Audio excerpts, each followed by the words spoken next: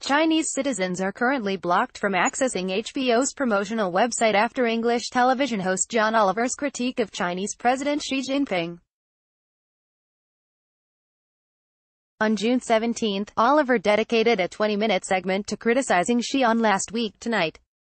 GreatFire.org, an organization that alerts Chinese citizens to the censorship of websites in China, first reported that access to HBO's China website has been prohibited since Saturday. HBO Asia, which broadcasts the premium American network's content, has also been down, according to The Guardian. Oliver hammered down on the president's censorship practices. In doing so, he further detailed Xi's decision to censor Winnie the Pooh, a fictional animated character he is often said to resemble. China first placed a ban on the beloved animated character, including his Chinese name and all subsequent images. In 2017, China has never exactly been known as a haven for free expression. He has clamped down noticeably on any form of dissent whatsoever, Oliver said. Apparently, Xi Jinping is very sensitive about his perceived resemblance to Winnie the Pooh, and I'm not even sure it's that strong a resemblance, to be honest, but the fact he's annoyed about it means people will never stop bringing it up, added Oliver. Backing down on Winnie the Pooh comparisons isn't exactly project strength.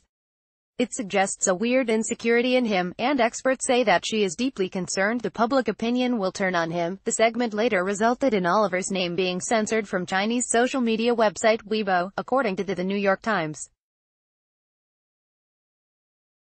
After the segment was broadcast, viewers took to the platform to voice their thoughts specifically about the hosts.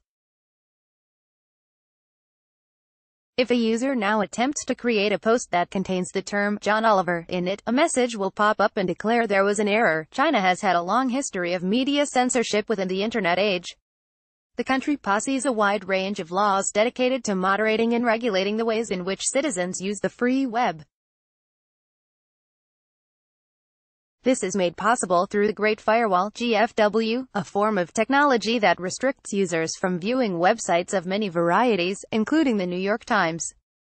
See all of the best photos of the week in these slideshows Hainan, an island province in China's southern region, will have its internet censorship partially removed via a three-year initiative geared toward tourism.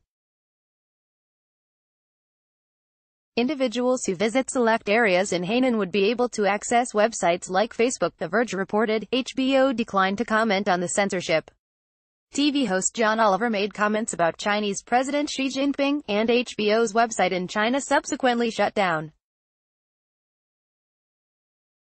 Here, Oliver is pictured attending the 11th annual Stand Up for Heroes event at the theater at Madison Square Garden on November 7, 2017, in New York City. Brian Bedder, Getty Images for Bob Woodruff Foundation